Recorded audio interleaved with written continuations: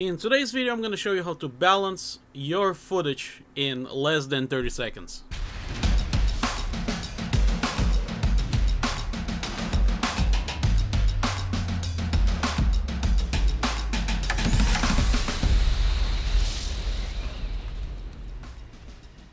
Okay, we inside DaVinci Resolve and I'm working today with the Scott Matthews footage, link in the description below. Make sure to have little qualifier over here, a little dropper.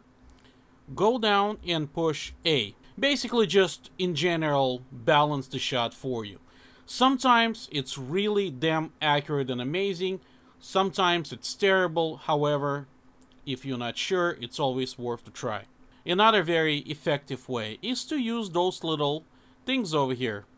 The black point and the white point.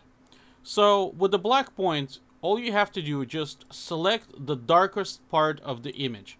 And in my case, the darkest part over here is right there. Okay, so I select here.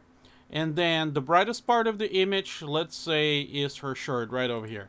And once we click that, we have balanced shot. Just remember, when you do that kind of stuff, one way may not always be working in every situation. As you can see, sometimes one way gives like a weird tint. It can go vice versa either way. Sometimes, you know, auto balancing gives like weird image. Sometimes it's a white balance. So kind of play around that way you know what kind of tool to use. Thank you very much guys for watching. Be sure to subscribe and I'll see you soon.